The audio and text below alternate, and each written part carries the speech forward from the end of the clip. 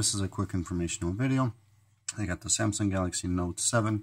I'm going to show you how to change your default storage location when taking photos and videos. So if you're taking a video and you want to make sure they're stored to the memory card, first launch the camera, tap on the gear.